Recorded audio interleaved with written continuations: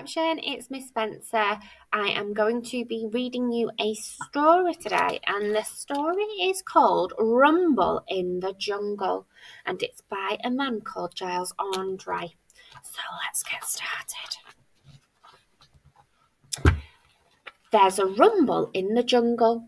There's a whisper in the trees. The animals are waking up and rustling the leaves. The hippos at the waterhole, the leopards in his lair, the chimpanzees are chattering and swinging everywhere. Some animals are frightening and some are sweet and kind. So let's go to the jungle now to see who we can find. Chimpanzee. It's great to be a chimpanzee swinging through the trees.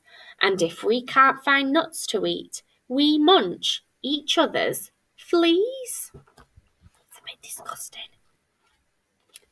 Lion. The lion's the king of the jungle. Just listen how loudly he roars. Every animal quivers and shudders and shivers as soon as he opens his jaws elephant. It's great to be an elephant, all big and fat and round, and wander through the jungle just elephing around. Zebra. I could have been grey like a donkey, or brown like my cousin the mule, but instead I've got stripes, which my lady friend likes, as they make me look handsome and cool. snake. The boa constrictor's a slippery snake who slithers and slides round his tree. And when tasty animals wander too close, he squashes them slowly for tea. Giraffe, Miss Spencer's favourite animal. Some animals laugh at the gangly giraffe, but I hold my head up and feel proud. I really don't care when my head's in the air and my cheek is getting kissed by a cloud. Hippopotamus. Hello, I'm a big happy hippo. I sleep in the sun to get hot. And when I'm not sleeping, I mooch in the mud, which hippos like doing a lot. Crocodile. When animals come to the river to drink, I watch for a minute or two. It's such a delight to behold such a sight that I can't resist chomping a few. The rhinoceros. The ravenous rhinoceros, and ravenous means really hungry, is big, strong, and tough, but his skin is all baggy and flappy, which means that there's plenty of room for his lunch, and that makes him terribly happy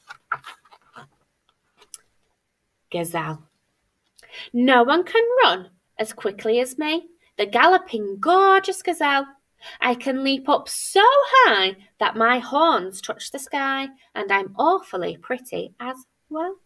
Got a little lion cub there hiding as well. Gorilla. The gorilla is big, black, and hairy, and the thing that he likes to do best is to look all ferocious and scary and wallop his giant great chest. Leopard.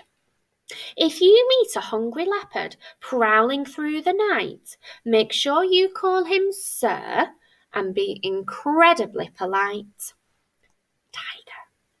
Beware of the terrible tiger. You don't always know when he's near, but his eyes shine like lights through the blackest of nights, and his growl makes you tremble with fear.